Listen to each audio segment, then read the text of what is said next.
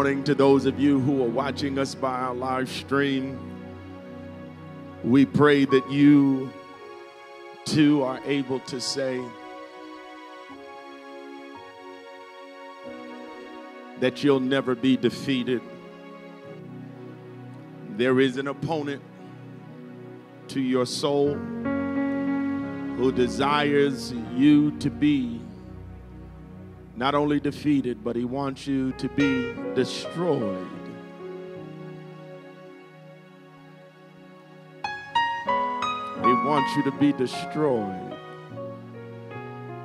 But thanks be to God who gives us the victory. Thanks be to God who gives us the victory. hallelujah, hallelujah. Thanks be to God who gives us the victory.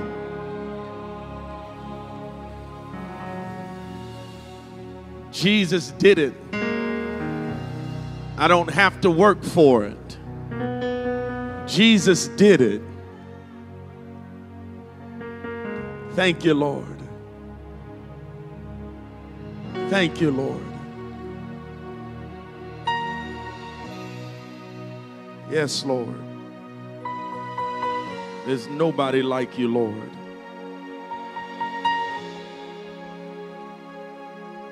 We cry, oh. Numbers chapter number 12. Oh, nobody like you, Lord.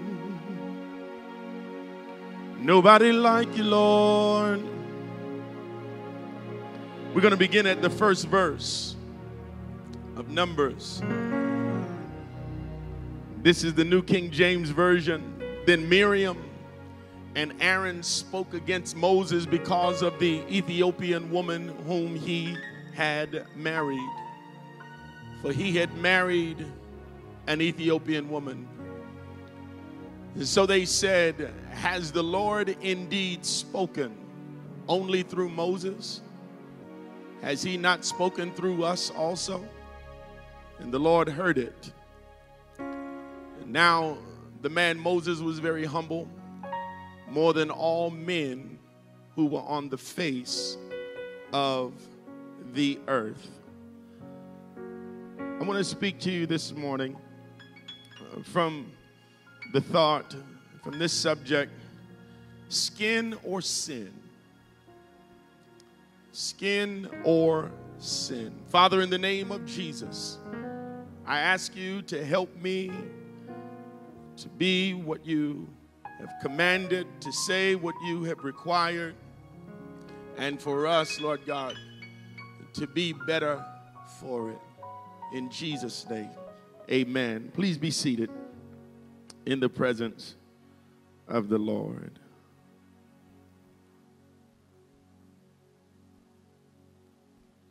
This is um, a sermon that I did some very intense study for, and um, last week I shared a sermon entitled The Kingdom Poles, and, and that sermon got tremendous um, uh, feedback. I, I, received a number of questions and comments uh, from various ones, and it was obviously a, uh, a sermon type that I would classify as a disruptor, if you will. And uh, it's good it's a good thing to have uh, disruption in the course of our lives because what is what tends to happen is uh, structures are shaken and loose things fall away and what the lord desires remains and i believe that this sermon is going to be similar in uh, its uh, impact uh, with the help of holy spirit uh, I, I, think God wants me to stay right in this space uh, to, to drive us to consider our ways. And, and so uh, we follow the leading of the Lord. and pre- present uh, the word of God to us. Uh, the Bible says that the, the word of the Lord is a lamp unto our feet and a light unto our pathway, and, and, and I believe that. And so, this text that we've just read in Numbers chapter number 12 uh, presents an interesting scenario. It takes great care to identify uh, that um, Moses and his brother Aaron and his sister Miriam are at a relational crossroad. And the Bible tells us that Miriam and Aaron spoke against Moses, and it says, because. The reason they were speaking against Moses was because. A lot of times we can point to an action, but we may not always understand why the action is taken. And the Bible does not leave that in a unknown variable. It tells us that it happened because of the Cushite woman whom he had married. That was what caused the friction and the disruption in their mutual uh, pursuit. They're, they're going towards a greater destination. Now, a Cushite is a person from a region south of Ethiopia where the people are known for their black skin. And although they there are debates about this interpretation by those who are uncomfortable with what the Bible says, which is the truth and the realism of the Bible. That's what God tells us is the reason for their struggle. Now, furthermore, Jeremiah chapter number 13 and the 23rd verse tells us that can the Ethiopian which happens to be the same Hebrew word translated Cushite in, in Numbers chapter 12.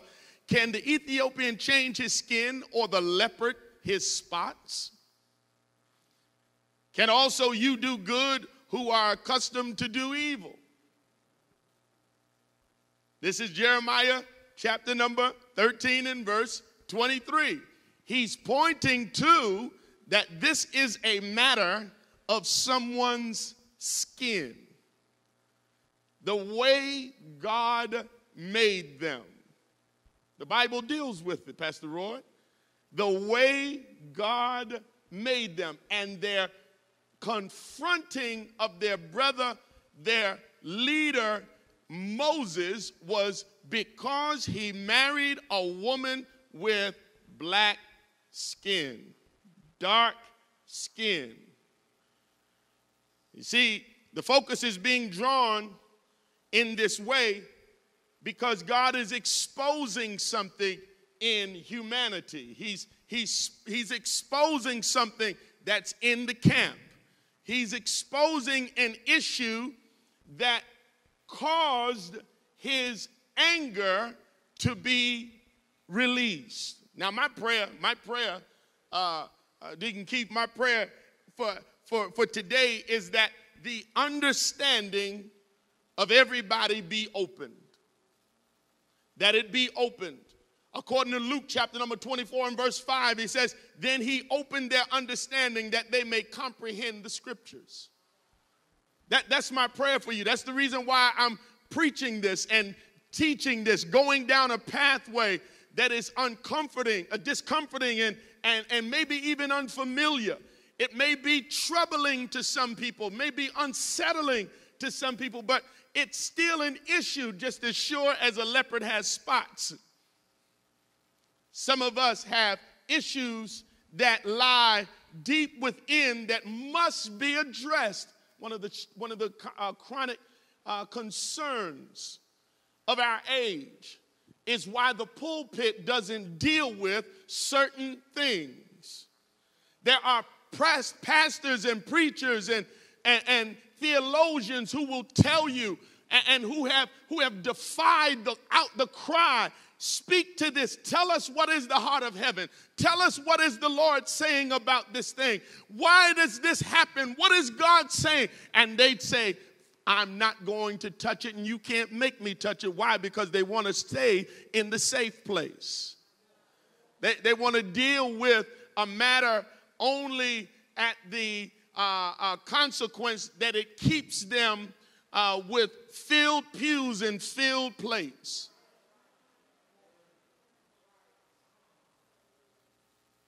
And so we deal with this because the Bible deals with it.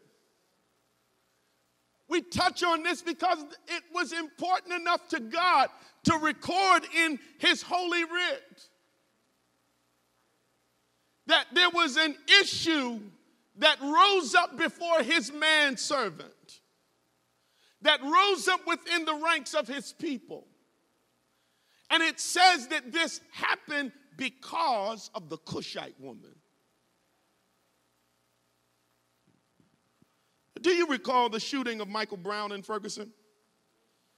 It seems almost to have been in another decade, but it was only 2014. It was the onset of the cries of outrage and protest that have swept the United States of America.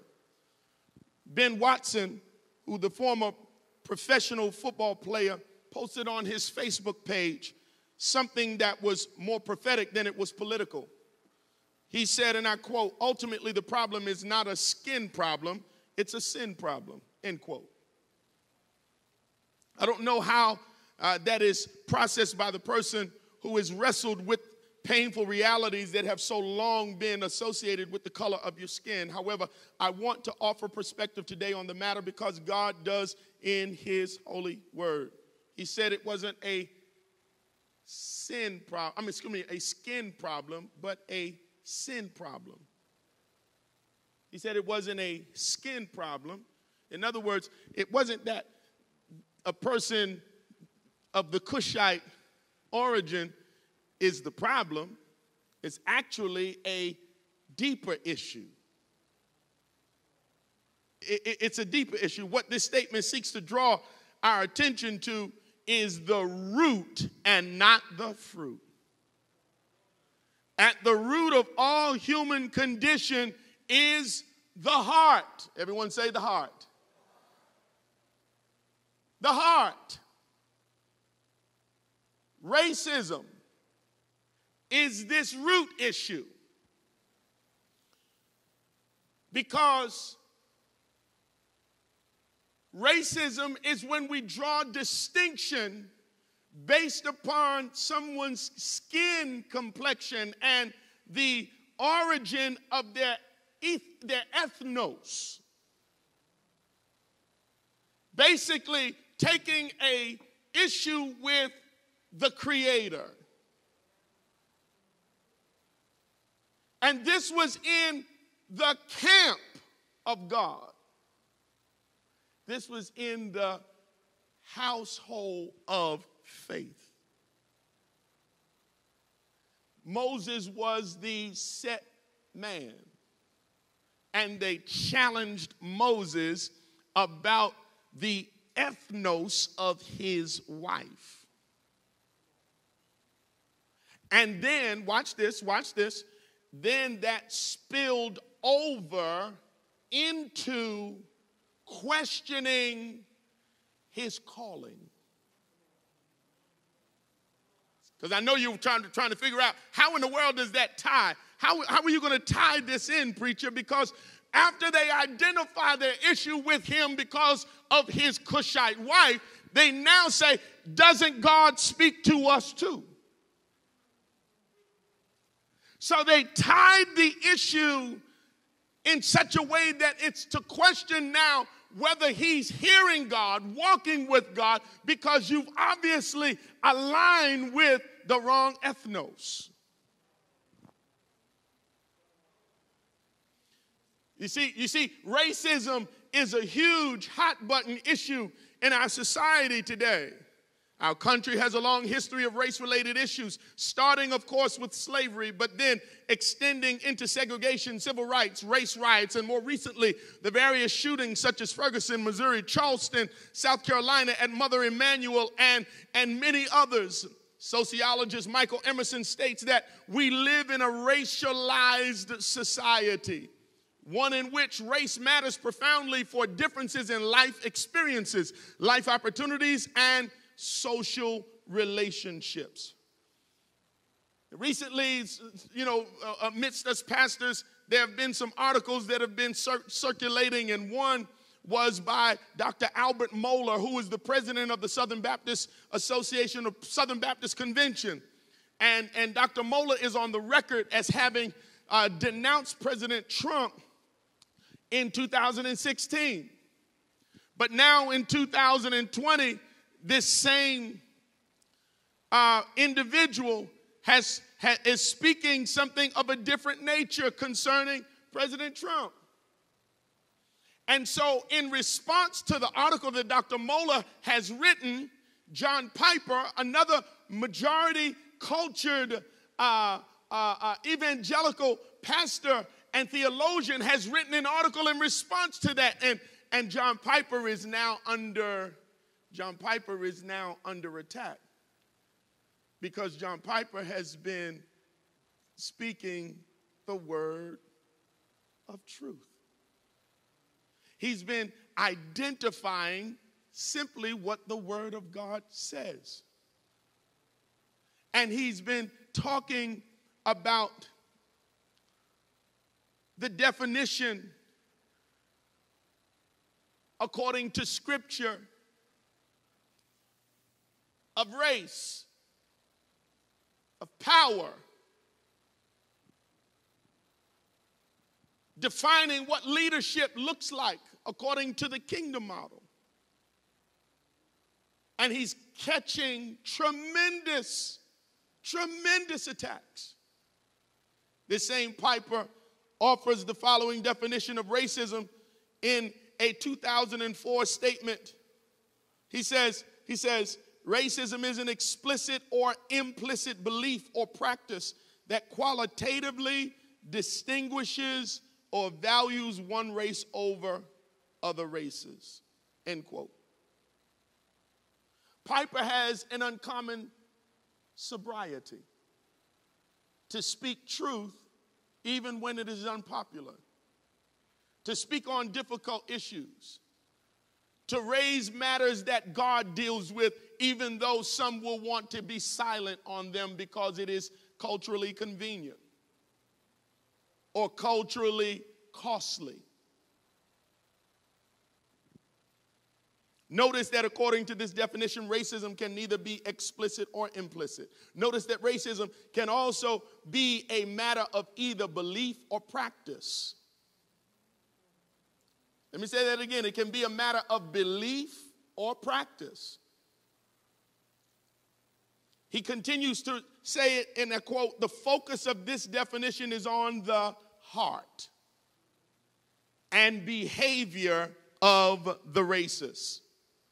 The heart that believes one race is more valuable than another is a sinful heart. And that sin is called racism. The behavior that distinguishes one race as more valuable than another is a sinful behavior. And that sin is called racism. End quote.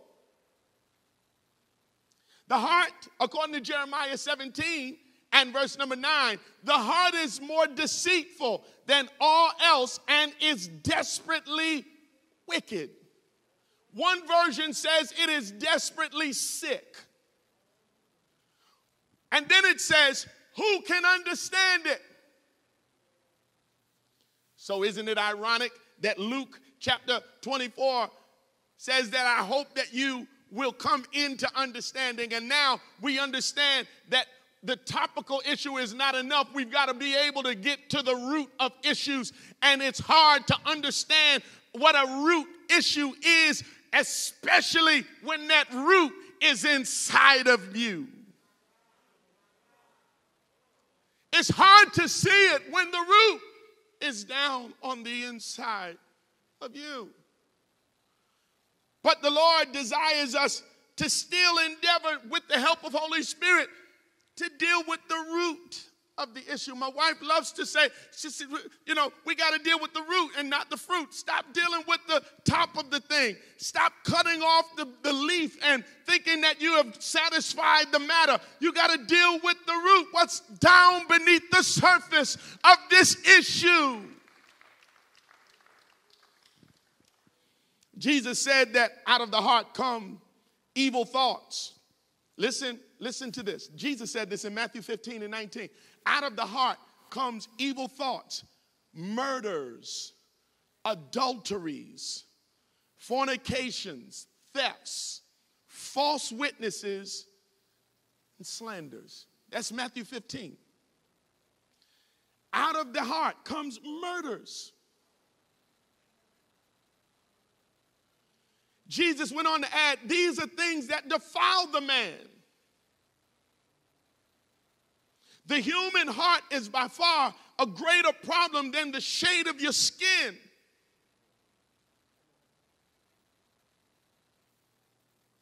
It's the heart. It's the heart. It's the heart. We all need God to show us our heart especially those who think that they're better than a different people who have a different skin because it's a heart sickness. The Bible says again in our main text Moses marries this Cushite, and then Miriam, then Miriam and Aaron approach him, but the Bible mentions Miriam first. She was clearly uh, someone whom uh, God had his mind on. And, and, and then when the judgment was levied, it was levied against Miriam. And ironically, her issue was his wife's skin, and God gives her judgment dealing with her skin she came down with leprosy, which was the, the, uh, the, the, the destruction of her epidermis, her skin. It became white and demanded that you be cast out of the camp. And then Moses did an amazing thing. Moses starts interceding for her. Moses starts praying for her. Moses starts crying out for mercy for her, asking the Lord for mercy for the very one who rose up against him. And therein is a message as well. It's a message to those who are the ones being marginalized and mistreated and, and, and, and, and undermined because of your skin, you can't lose sight and not pray for mercy, even for the one who has harmed and hurt and marginalized you.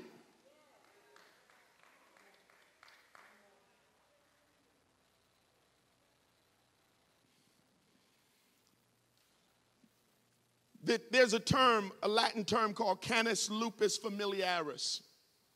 Canis lupus familiaris. It is the Latin term and it's a Latin name for the root species of the domesticated animal that we call a dog. Canis lupus familiaris. That is the original domesticated animal that we call a dog. Similarly, the scripture tells us that in the beginning, God created man, and from the first Adam, I'm telling you about Canis lupus familiaris because it was the original. And now I'm telling you about Adam, which was the original. And from the original man, from the original dog, we have all these other breeds Shih Tzu, Great Dane, Dachshund Hound, Cane Corso, German Shepherd. They all originated from the original Canis lupus familiaris. And similarly with humanity, God created all of the diversity that we know from Adam. Adam. All mankind has come from him, and we are all the same, and yet we are all fallen. Romans chapter number three. And the ninth verse begins saying, What then? Are we better than they? Not at all, for we have all previously charged both Jews and Greeks that they are all under sin. Meaning that all humanity, no matter where your origin, no matter where you land in the, di- the, the, the, the uh, diversity, all have sinned and fallen short. There is no righteous, none, no, not one. There is none who understands uh, the, the, the, the greater things of God. There's none who seeks after God. They, they have all turned aside. They have together become unprofitable. There's none who does good. No, not one. Their throat is an open tomb. Uh, with their tongues, they have practiced deceit. Uh, their, their tongue, their throat is an open tomb, meaning that it is from the mouth that people are committing murders. The poison of the asp is under their lips. An asp is a snake whose mouth is full of cursing and bitterness. Their feet are swift to shed blood. Destruction and misery are in their ways, and the way of peace they have not known. I told you my prayers that we will come into the place of understanding. Why? Because there is no fear of God. There is no fear of God. All of the things that we can point to about broken humanity tends to lead back to an absence of fear of God. When you look at racism, it is a failure to properly perceive who God is and to reverence him because there is no no ethnos that is created in and of itself. We've all been created by God. It is him that's the reason why he says he says that we should not murder because we did not create it's him.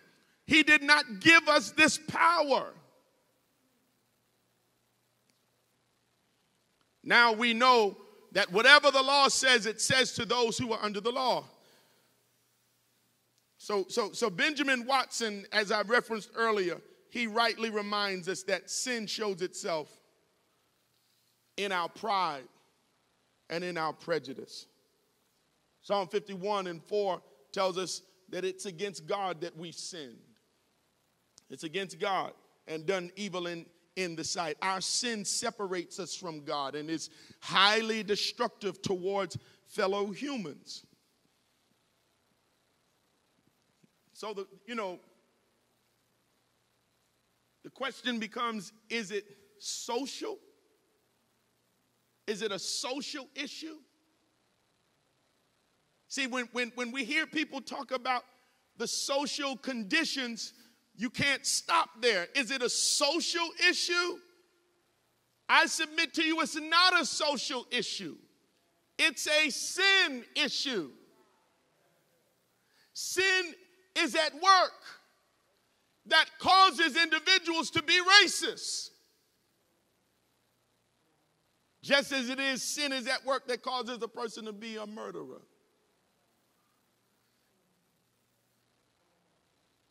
Just as it is sin at work that causes you to, to crucify someone with your tongue.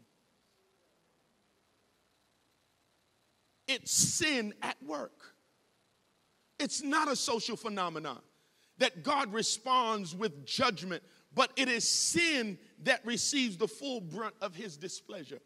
It's not about the social structure, it's about the sin. We have been di- trying to address a, a deep issue by only dealing with the surface. And that's the reason why you can you can have social advances but never overcome.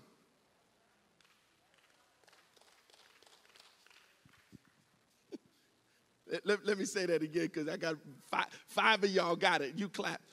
You can have social advances where I'm, it looks like I'm making progress socially, but I'm not really making the kind of kingdom pro- progress that God tells us is ours. And the reason is sin is still at work.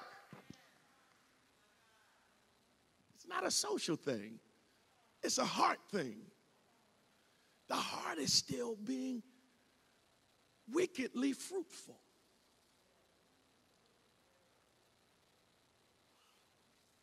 It's no wonder then that First John tries to begin to help us. First John 2 and 9 says, The one who says that he is in the light and yet hates his brother is in the darkness. The one who says he is in the light and yet hates his brother is actually in darkness. This is, this is the reason why it's so. Listen, I, I'm, I'm saying I'm in the light, but God's truth says I'm in the dark. That's a person who's lacking what? Understanding. Somebody say, Lord, give me understanding. See, see, see, the scripture says uh, uh, in, in First John uh, chapter number, I think it's three. Let, let, me, let me turn there real quickly. Uh, Am I?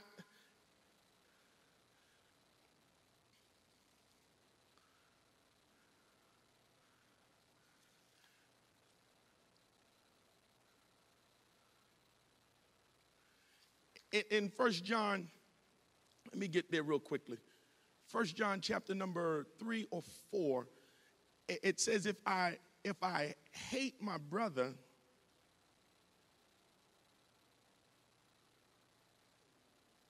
2 and 9. Verse 9 of First John chapter 2. If anyone claims I'm living in the light, um, uh, and hates a fellow believer, that person is still living in darkness. Anyone who loves a fellow believer is living in the light and does not cause others to stumble. But if anyone hates a fellow believer or brother, is still living and walking in darkness. Such a person does not know the way to go, having been blinded by what? Darkness. Having been blinded by darkness. In other words, they are void of understanding. Go to Proverbs chapter number four. Proverbs chapter number four. Proverbs chapter number four. I told you my, my chief prayer in this teaching today is that we obtain understanding uh, according to Luke 24 and 45, that we obtain understanding. Now, Proverbs chapter number 4 and verse 5. Proverbs chapter number 4 and, and verse 5. If you're there, say amen. It says, Get wisdom, and then what? Get understanding do not forget nor turn away from the words of my mouth. If my if my heart isn't healed, then I can be in the midst of God's word. And it profits me nothing because I have not obtained understanding. It's the understanding that changes the heart. It's the understanding that changes the heart. So he says, if you are just a wisdom seeker, but you don't obtain understanding of the word of wisdom that's being released, you might as well just be in the midst of a whole lot of noise, but don't comprehend anything that's being spoken. Have you ever been in a room where there are multiple conversations taking place? You know, maybe at a Christmas party or at a birthday party like I was at yesterday, and, and I just stood off to the side of the room for a moment and I listened to the five or, uh, or six or seven different conversations that were happening in my vicinity. And I couldn't tell you what all of them were saying. I heard it, I heard something being spoken, but I could not tell you what they said because I was not tuned in sufficiently. I heard the sound. Many people have, have classified themselves as believers. They go to church, but they leave the same, unchanged. Why? Because they were in the midst of wisdom being declared, but they did not understand what was being spoken. And though, so they leave that place the same way that they came. They leave the place the same way that they came.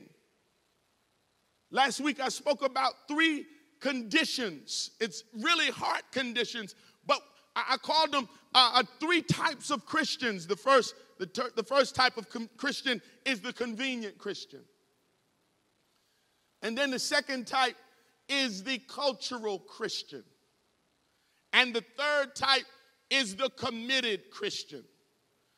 A convenient Christian is only uh, a Christian because it is productive and effective and convenient to be classified as such so that I can fit in certain circles and move about and possibly, possibly uh, get some, some uh, business deals from it. It's, it's convenient for me. You know, that's what grandma and them were. A cultural Christian is someone who doesn't want to be left out. They say that this nation is a Christian nation. And so I'll be a Christian because this is predominantly what most people in this nation are. But then the committed Christian is the one who really wants to hear the word of wisdom and understand it, who applies it in their life, who understands the significance and the, the, the, the weightiness of it. Come back to the text of Proverbs chapter number four. Proverbs chapter number four, in the fifth verse, he says, Get wisdom, right? Get wisdom and understanding. Verse six. Verse six says, Do not forsake her, and she will preserve you. Love her, and she will what? She's going to keep you. Verse 7 with wisdom is the principal thing, meaning the first thing. However, I told you about canis lupus familiaris, but therefore get wisdom, but in all of your getting, get understanding. Get understanding. You can't afford to be in the midst of all of this wisdom that can't be applied because you don't understand what in the world it is what it's saying, what it means to bring it to bear. What does it mean to apply it in your life? That there's no value in that. And so I, have got to get the understanding this thing is not social, it's a sin. It's not social. And so if you only put social structures in, you're going to continue to see the fruit of the greater root. Watch this, watch this. I'm going to give you three main points and I'm going to get out of your way. Three main points about what God deals with in Numbers chapter number 12. Our main text, for those of you who are just joining us, is taken from Numbers chapter 12, verses 1 through 3. And it's dealing with God's set man, his main man, Moses, who decided to fall in love with this black woman. And, and his sister and his brother took issue with him uh, because he married the Cushite. And then when he married the Cushite, this was the door opener for them to really get even the more into his business and say, you, Are you the only one who God speaks to? You ain't the only one who God speaks. In other words, we're, we're just as anointed as you. Look at that. Look at that. They tied the skin to the anointing, to the spirit. Right? They tied that to the, to, to the anointing, the call, the election the selection of God. Racism is messing with people's calling. Racism is messing with people fulfilling divine purpose. Racism is dealing with people's divine purpose. Watch this. Here's the first point racism is against God,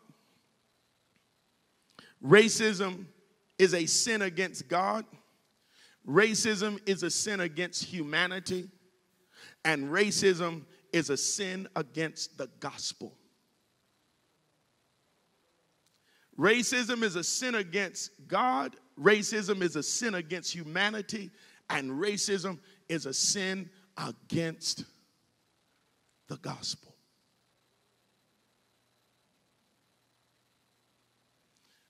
So it's no wonder that you have individuals who are talking about they don't believe racism exists in America. Because they don't want to deal with the root. They don't want to deal with the root. It's no wonder then you have individuals who don't want to preach like I'm preaching this morning. Because they don't want to deal with the root. Because the fruit is, is palatable to them. They don't, they don't have, it, it, doesn't, it doesn't cause their stomach any disruption. Their stomach is not soured by it. As such, racism is a serious sin which permeates our culture and affects us in subtle ways that we may not even be aware of at times. We are all affected by it in various ways, and we need to dig deep in our heart if we are to root out this sin which divides us in so many ways. Racism, first of all, is a sin against God. Know, know that this is true. Uh, uh, all sin is against God, but racism is a sin in particular because we were created in God's image. And so when I loathe someone because of their skin, it's like I'm telling God, you made a mistake. You, you made a mistake. I, I was looking on Instagram uh, a couple of days ago, and I came across this model, and I showed it to my wife. I said, "Baby, look at her," and she said, "Oh wow." She said, "Is is," and it was it was this woman who probably is hailing from somewhere near Ethiopia or, or, or more southern because her skin was dark. I mean, she was dark. And my wife said, is, is she too dark for you? I said, No. Now, I know my wife is kind of creamy milk chocolate. In comparison to this woman, I mean, she was dark. And I said, No, I think she is beautiful. Her skin was almost like coal. And she was stunning, stunningly beautiful. Some people would see that. And socially, they will tell you, something wrong with her. In fact, y'all don't look at me so crazy. God dealt with this.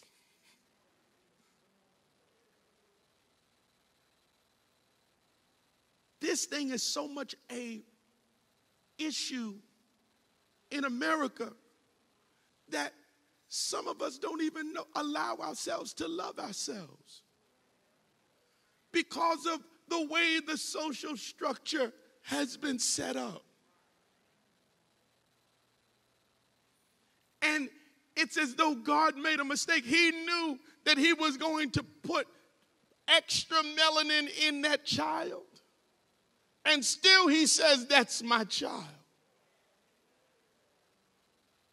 See, See, but the hypocrisy of this root issue would have you to believe that the ones who say they hate it really hate it.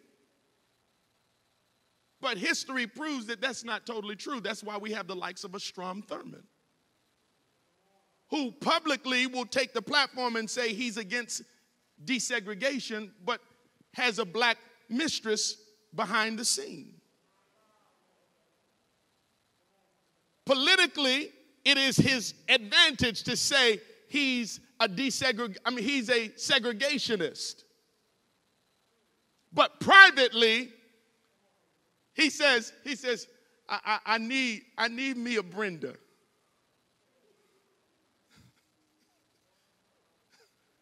I, I, I prefer a Jackie.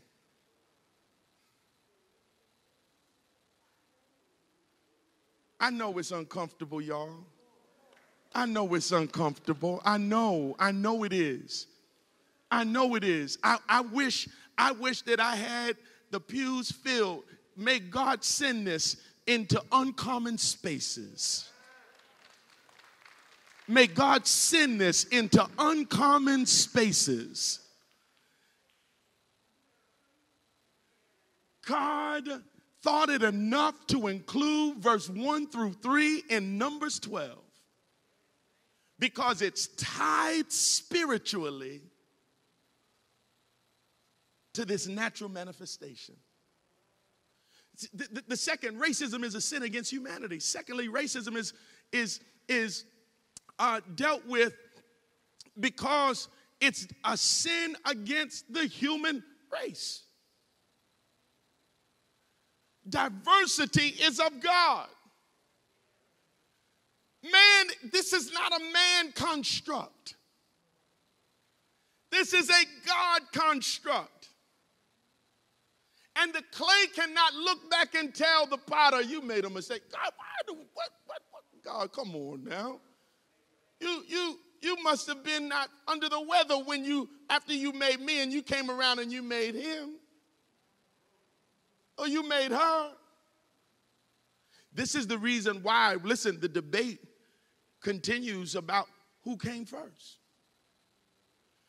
And, and the truth is, the truth is that you cannot get any other color from white. The only other color that you can get more from is black. I know it's tough.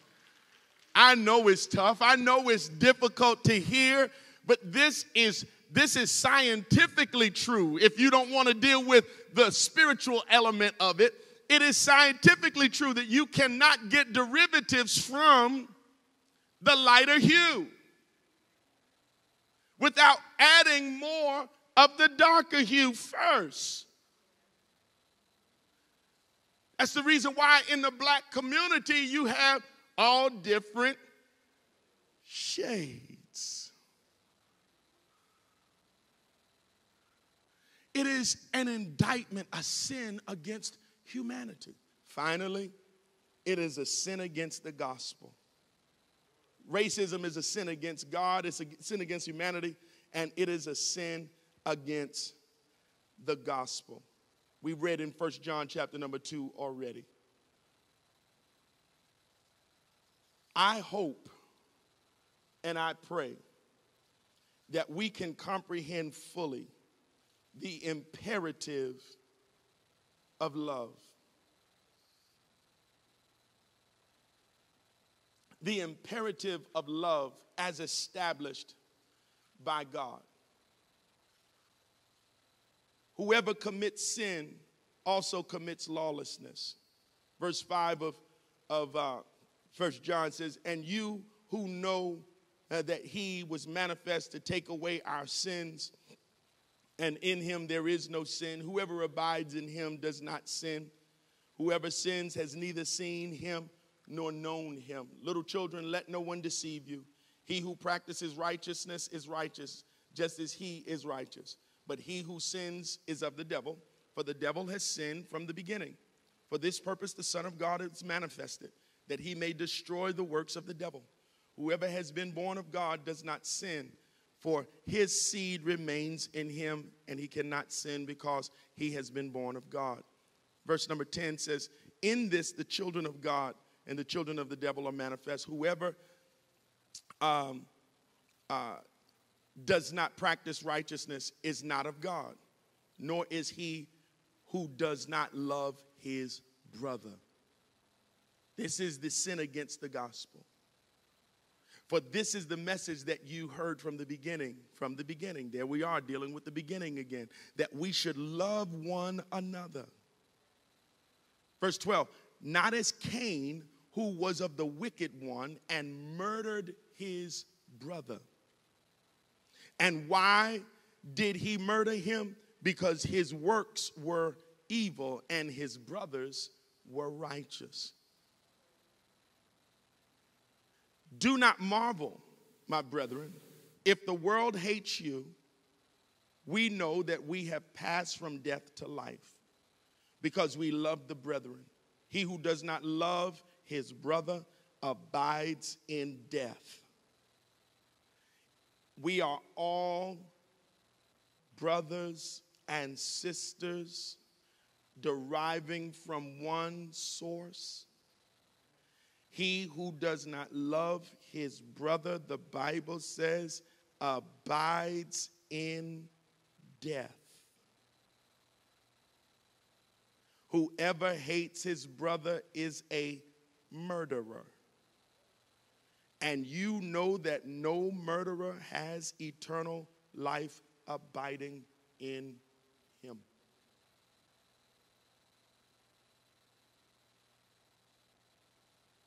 Skin or sin? What is the issue? It is not skin. The issue is sin.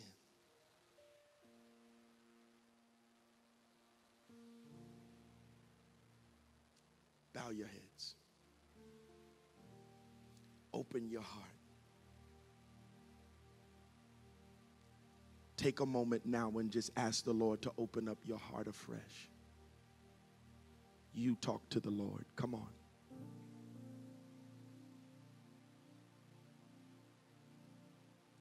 Ask Him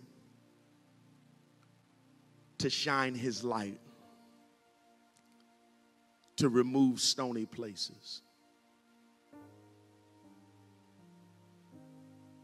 to remove wicked roots.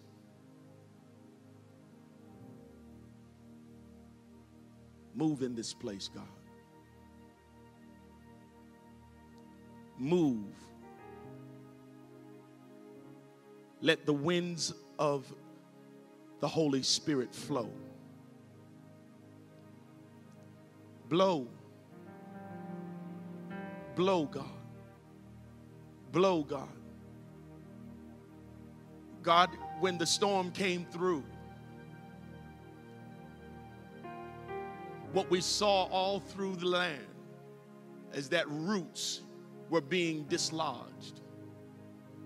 Trees that had been long established were being removed. God, I pray that your wind will be so forceful that things that thought that they were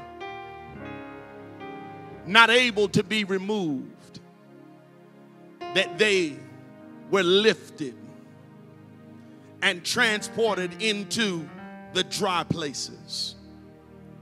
The root represents a spirit, and we say, Blow, blow, blow, Holy Spirit, blow, blow. Take it away, God. Mighty breath of God, take it away. We don't want to miss you. We don't want to miss heaven because we thought that we were abiding in righteousness and in truth. But the enemy just had us veiled because we didn't understand. But God, I thank you that we are going to trust you in the fullness of your grace. And God, I believe that you're going to blow. And in your blowing, you're going to release a power that we could even pray. That we could pray for those who curse us, for those who despitefully use us, to those who persecute out of the ignorance of a darkened heart. I pray, God I pray that you raise up a righteous standard. God, that you will shine in us, that will begin to look more like Jesus. Come now, Holy Spirit, blow.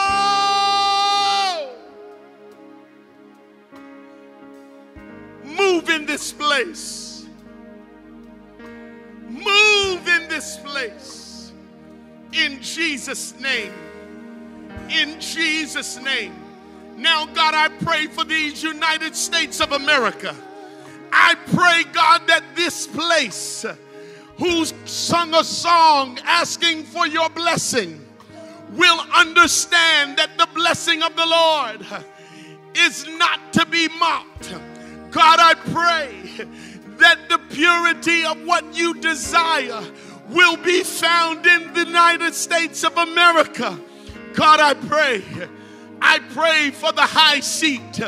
I pray that it will be what you need it to be. I pray for your selection. I pray for the kingdom of God selection. God, not just because of the man, but because of the spirit that will remain in the west wing. Blow, blow, blow. In Jesus' name, stand to your feet and give God a praise in this place. Come on, clap your hands and begin to thank Him. He said, Call those things that be not as though they were. Cause things that be not as though they were. Call it forth. Move in this place. Yes. Yes. Yes, Lord. Come on, would you sing with the worship team? Say, blow.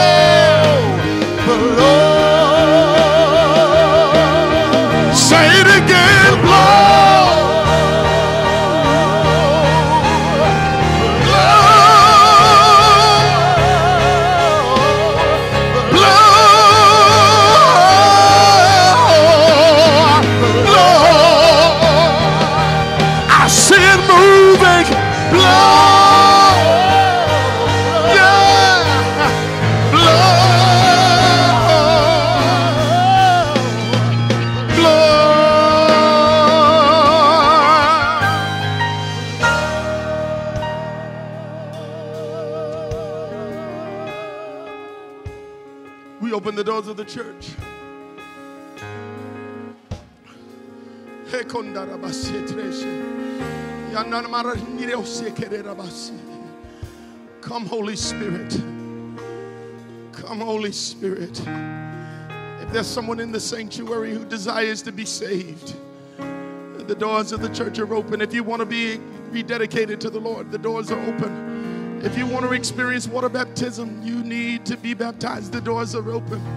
If you want to align with the house of the Lord at Caldwell Victory, and you need a covering, this is an ark of safety. We announce that the doors of the church are open. Come now, come now, come now.